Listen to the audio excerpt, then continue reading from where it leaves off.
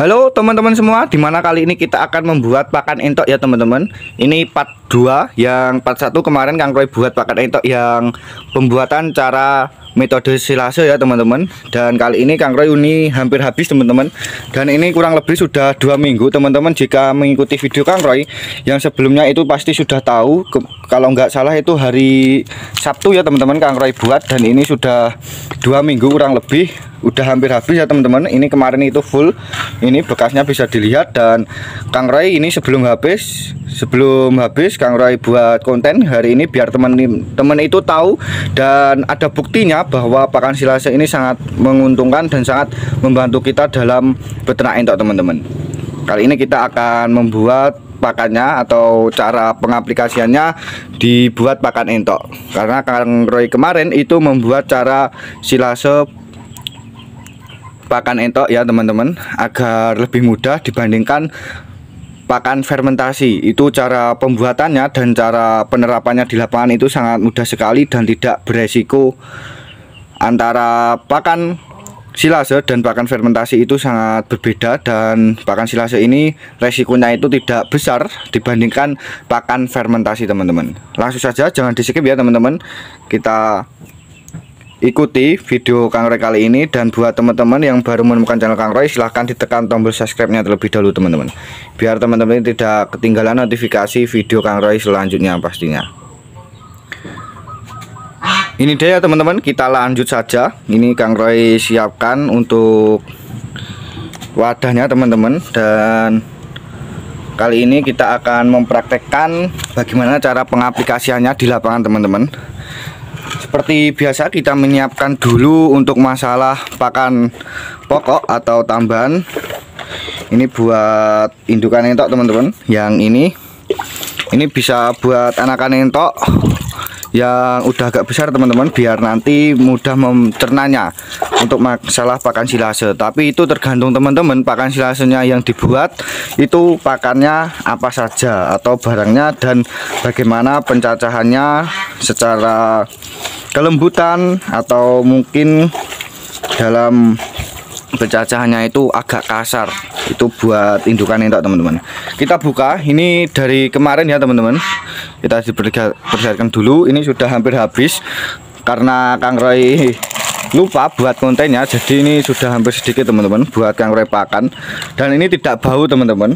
Teman-teman harus diketahui kenapa Kang Roy ini sangat membantu sekali karena ini pakannya itu masih segar teman-teman dan tidak bau. Masih segar baunya ya seperti biasa lah. Dibuat silase bisa dilihat sendiri. Ini masih segar sekali teman-teman barangnya masih segar dan bagus sekali buat pakan netok ini cuma pengawetan barang teman-teman atau pengawetan pakan agar teman-teman itu jika full kegiatan atau mungkin tidak ada waktu luang untuk mencari pakan alternatif atau tambahan bisa menggunakan cara metode silase ini teman-teman. Ini biasanya itu digunakan buat para peternak kambing teman-teman. Buat para peternak kambing itu biasanya menggunakan pakan silase dan kali ini kita Kang Roy menerapkan di peternakan entok teman-teman. Ternyata juga sangat menguntungkan sekali dan sangat membantu teman-teman.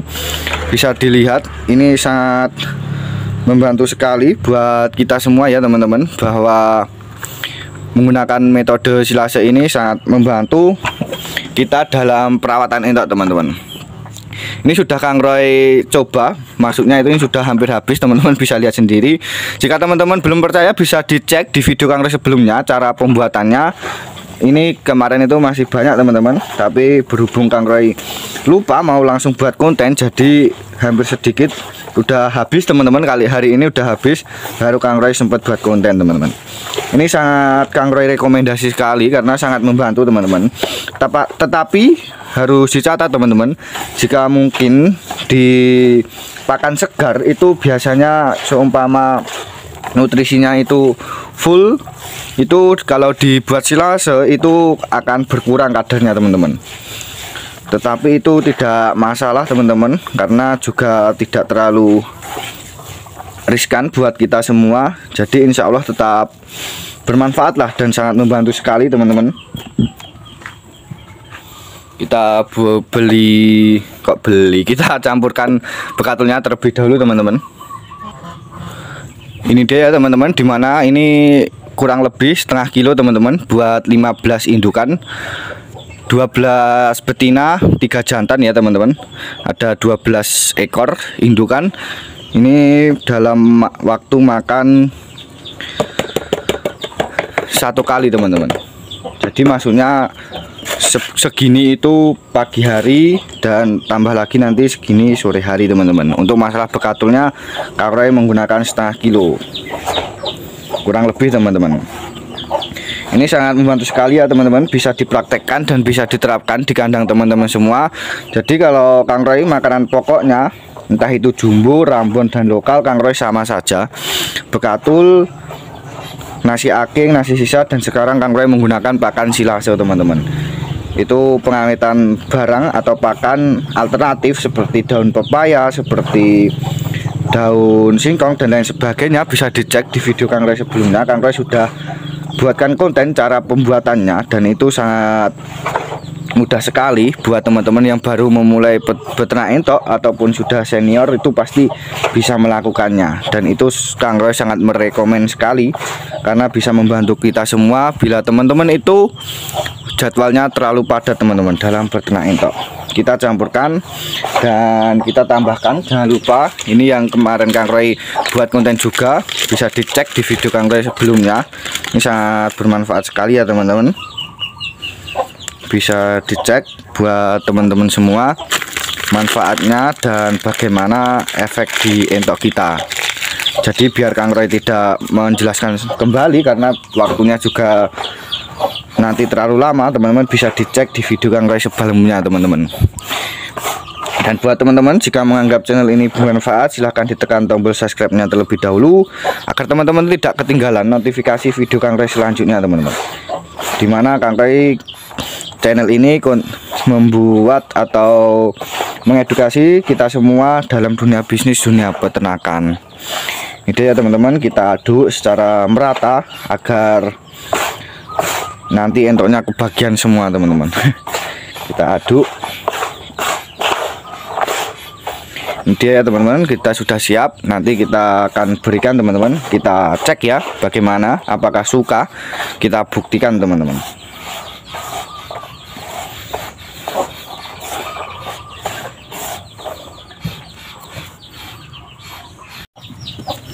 Ini dia teman-teman. Bisa dilihat sendiri bahwa entoknya banyaknya itu sangat suka sekali teman-teman. Berbeda dengan pakan fermentasi itu perbedaannya pakan fermentasi itu harus menyesuaikan terlebih dahulu teman-teman.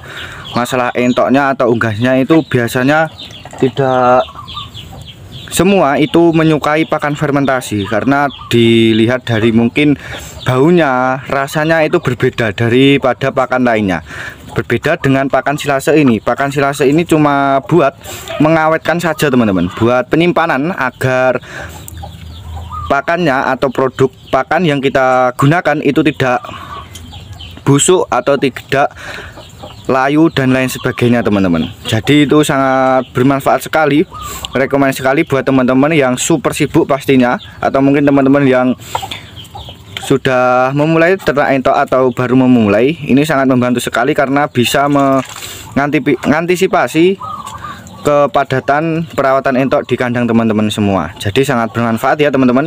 Bisa dicoba bisa diterapkan di kandang teman-teman semua bahwa pakan silase ini tidak mengefek apa saja pada entok kita jadi tidak ada efeknya sama sekali karena ini cuma pengawetan barang.